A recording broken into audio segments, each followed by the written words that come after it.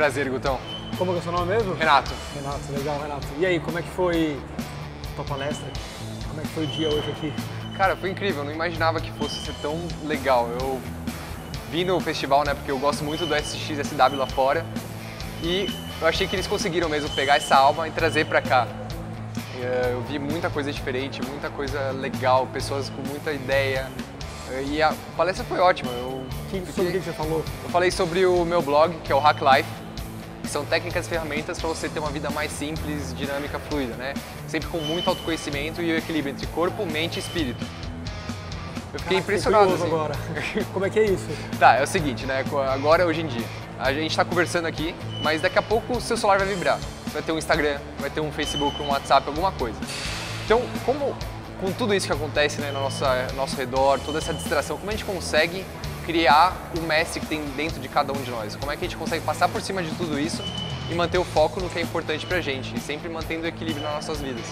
Que legal, acho que tem um link interessante, eu, dei, terminei minha palestra agora também, e acho que, enfim, uma das áreas de pesquisa que mais me estimulam, que me eu sou arquiteto, né, sou designer, e uma das coisas que eu falei bastante assim, foi sobre cultura ciborgue.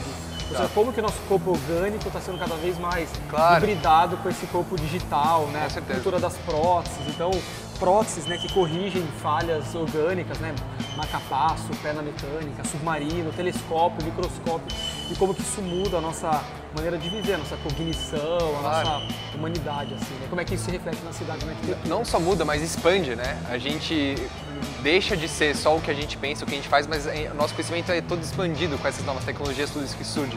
Mas você falou que você é arquiteto. Sim, sou arquiteto. E como você chegou nesse tipo de Cara, assunto?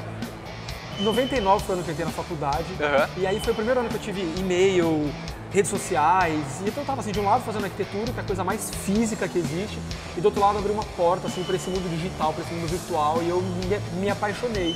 Tá. Então hoje o que eu tenho tentado fazer é meio que misturar, assim, como é que a arquitetura pode ser interativa, mais tecnológica, mais híbrida, né? Como é que você lê os espaços não só a partir de concreto, vidro, tijolo, mas também a partir de sensores, atuadores. Então eu tenho aplicado isso no meu trabalho, tenho feito projetos de interação, que demais. tenho trabalhado com bastante luz, som. Você faz isso aqui em São Paulo? Faço, tenho, tenho feito em vários lugares, mas principalmente em São Paulo. Principalmente em São Paulo. Eu tenho feito mobiliário também, então por exemplo, eu criei uma cadeira a partir do som que eu coletei nas ruas de São Paulo.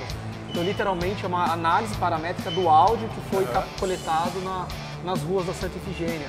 Fiz uma fachada de um hotel aqui do lado que muda de cor de acordo com a qualidade do ar e com o barulho que a gente coleta assim, tentar fazer essas leituras mais subjetivas, mais poéticas do nosso cotidiano. E, por exemplo, se eu quisesse aplicar um pouco disso do seu trabalho na minha casa, por onde você começaria? Você entraria na minha casa assim, o que você ia Boa pergunta. Foi procurar? exatamente onde começou minha pesquisa. Começa na, na casa, no, é. no, espaço residencial, né? Eu acho que, puta, tem um dado assim que é, se você parar pra pensar, eu não conheço a tua casa, mas eu imagino, a tua casa tem sala, quarto, cozinha, é tripartida social, íntimo e serviços?